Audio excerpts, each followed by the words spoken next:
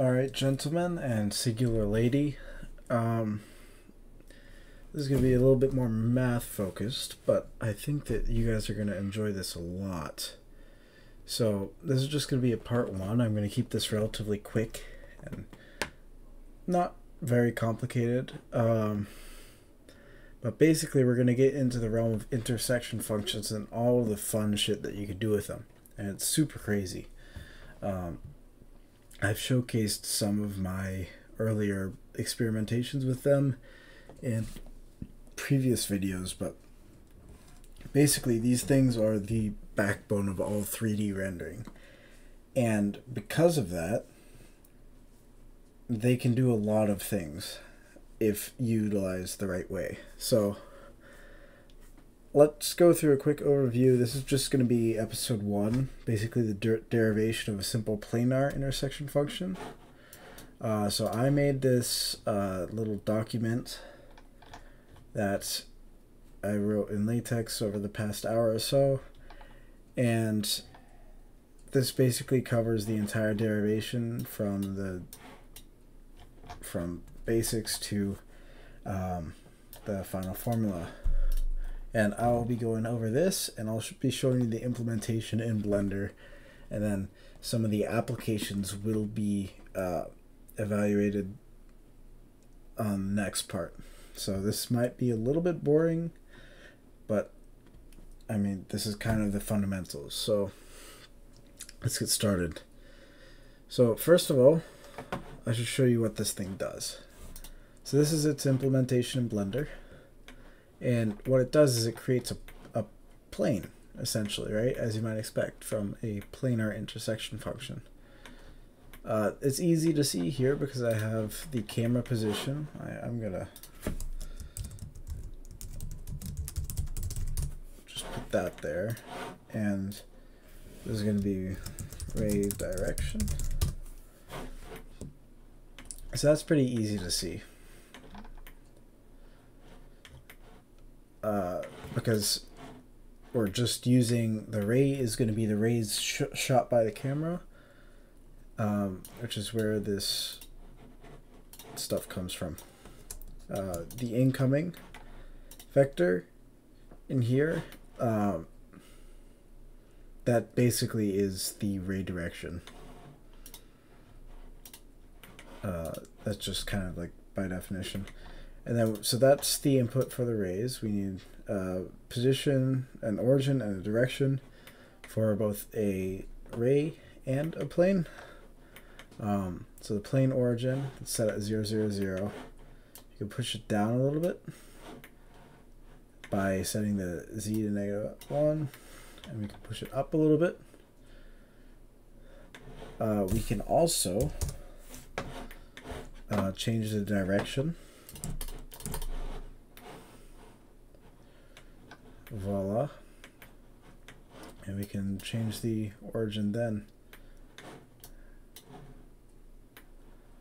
That's pretty fun. Anyways so that's sort of what it does. Um, I betting I'm betting you can already see some of the applications this has but let's get into the derivation. And you guys even if you have a hint of what can be done I don't think you guys actually know like the full extent of what can be done. Uh, we'll be getting into that later on. But we first must cover the basics, unfortunately. So this is an artifact of vector math, and it's literally, the, the name says it all. So it return, it's a function that returns the intersection point between array and a plane. So we need two things. We need a plane and we need array. So array is just a line and a plane is just a plane, but we need to quantify these, right? So planes can be defined by a normal vector, right? We're just going to call that n here, and that's just going to be like a, b, and c. This is just, this would be the x value, this would be the y value, this would be the z value, or uh, in Blender, red, green, and blue. And so a plane has a normal vector that passes uh, and a point that it passes through. It's just going to be point P. And it's gonna, we're just going to call it x naught z naught, or x naught y naught z naught. And this plane can be described by this equation ax plus by plus cz equals ax naught plus by naught plus cz naught. So that's basically it.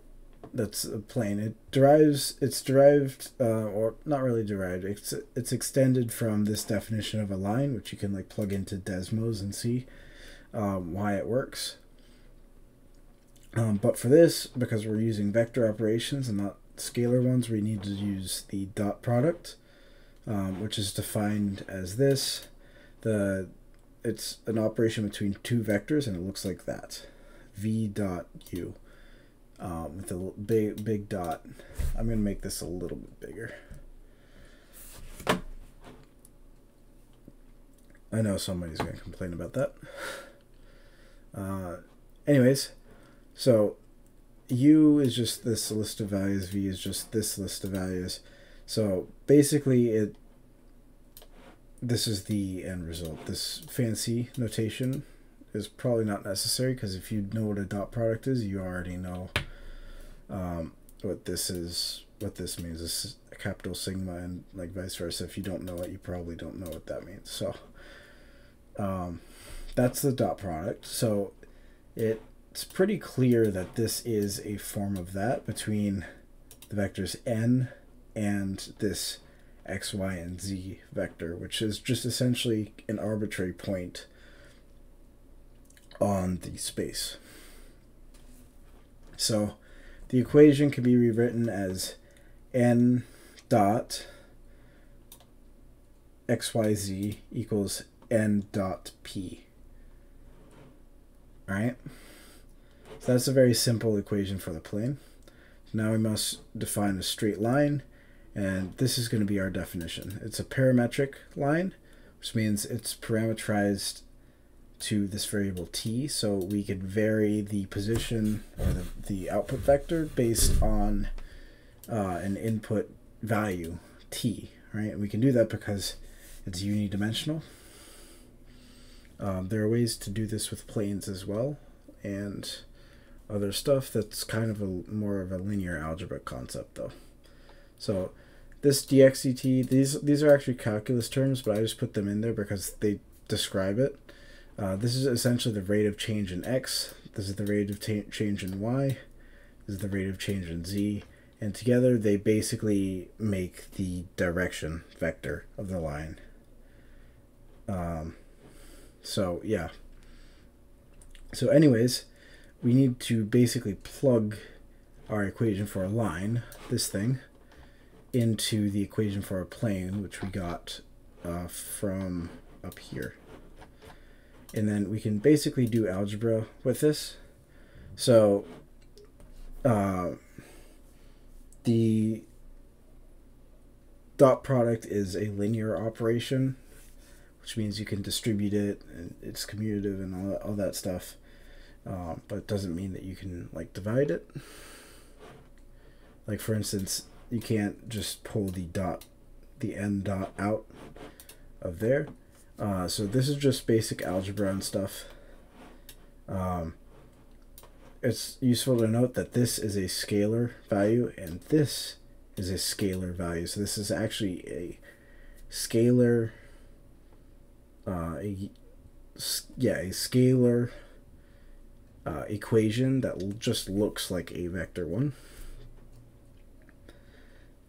So we we essentially we derive that uh, oh, it looks like I forgot to get the final value for t there. Uh, regardless uh, it's pretty easy to see the algebra that goes on. We just divide this by that and we get uh, this value for t. So plug that back into our equation for a line and this x, y, and z point, which is our intersection point, comes out to be our initial position of the ray plus this value we got for t times the direction of the vector. So implemented into Blender. I'm just going to re-implement this because we can. So I'm going to take these two out. I guess literally five nodes. So I'm going to take those two out. Let me pull this into one side.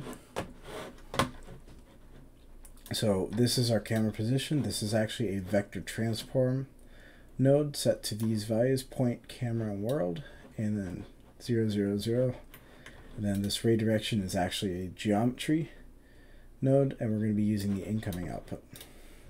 So we have xyz equals our initial position, uh, which is this camera position, plus, so I'm going to use a uh, vector math.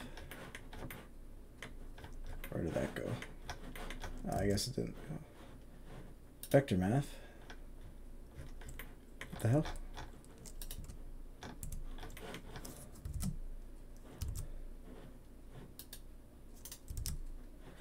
Vector math. Okay. Something was going weird there. Anyways, this is a little bit easier to see.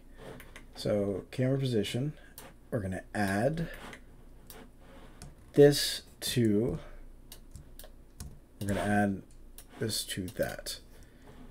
So let's first start by breaking this down more. So we've got, we're multiplying this by, so this is a scalar value because it's got two dot products.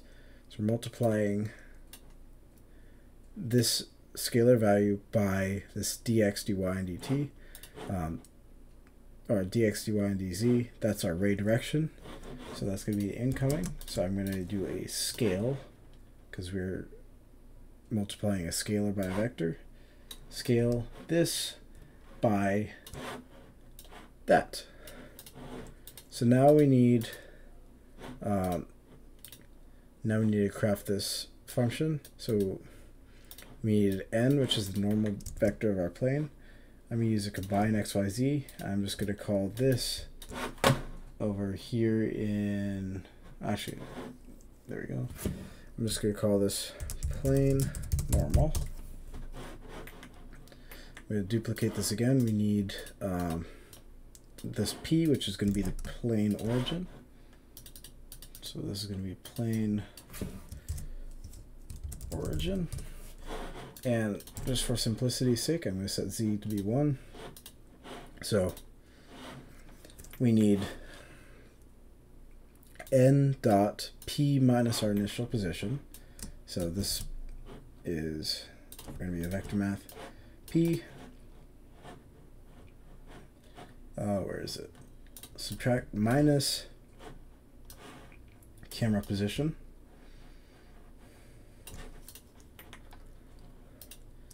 And then we're going to use the dot product, uh, which is right here, dot n, which is our plane normal.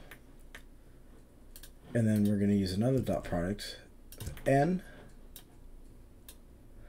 dot our, uh, oops, n dot ray direction and then we are going to use a regular math because we're operating on two scalars here. As you can see by that, we're going to divide. Divide our n dot d, whatever this is, dx, dy, dz, n dot that, or we're going to be dividing this thing by that. So that's the fraction. And then we're going to put that into the scaling thing because it's multiplied by uh, dx, dy, and dz. And then we are going to add that back into here. And then we can tidy it up a little bit.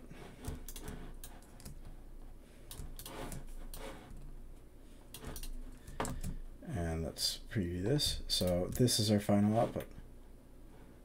And we can see it created a plane. Yeehaw. Lovely. Isn't that cool? So in this one, it's pretty much the exact same. Uh, you can analyze it if you want, but I also have this less than. thing. And this is called the discriminant. So it's basically what happens is a line will always intersect with a plane. But we only want to calculate its intersection and return a value when the plane is in front of the camera instead of behind it, or else we're getting both, right? So this is essentially finding, this is the t value. So if t is less than 0, uh, actually technically it should be greater than, and then we should just add a negative 1 here. This incoming ray value is actually like inverted. And then we do a greater than. And that's the same thing. So only when t is greater than 0, in other words, in front of the camera, uh, we should see this. So that's basically that. Um, in the next video, I will be delving into some of the fun things we can do with this thing. And that will be very fun, I presume. Uh, so we're going to get into stuff like shadows and uh, all that other fun stuff. Uh, might maybe like PBR rendering done manually. That would be pretty neat. Anyways, uh, I'll see you guys later and have a good one.